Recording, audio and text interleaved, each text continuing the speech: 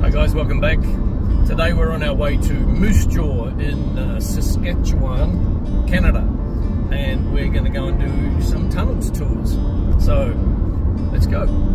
We are on the way.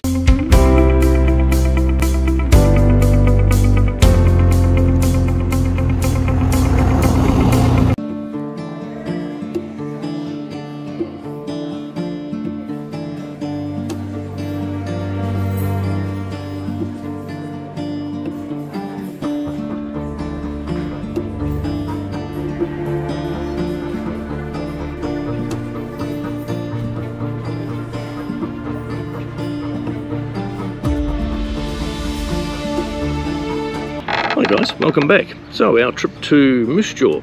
Uh, unfortunately, the um, the tunnels uh, establishment doesn't allow any photography on any of the tours. Um, so we'll just have to get some stock images off the internet for you.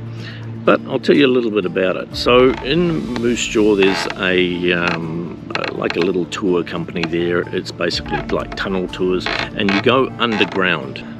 Jaynee and I did an independent rating on the three tours. So the first one was Bunker 24. Now, Bunker 24, we both gave it a rating of 4 out of 10. Now, we were probably being a little bit harsh, a little bit um, nasty. Uh, the young man who was the tour guide obviously was new to the job and he was still holding his crib notes and reading a script basically from the crib notes. So he wasn't as fluid and as comfortable with the uh, information that he was trying to impart as he will be in, you know, probably a few months' time. The setup absolutely fantastic um, really really good it's just that there was this disconnect between the tour guide and what he was trying to show us. So we gave it a 4 out of 10. That's probably going to be a little bit harsh to begin with. The second tour is uh, like the, the Al Capone uh, bootlegging sort of arrangement. Now that was really interesting and it was a lot of fun. Now obviously uh, the Bunker 24 and the Al Capone bootlegging one is probably a little bit of poetic license going on there, um, but highly entertaining. The second uh, tour that we went on, highly entertaining. Um, uh, two of the uh, operators very skilled at doing their job um, and a great deal of fun and uh, highly recommend that.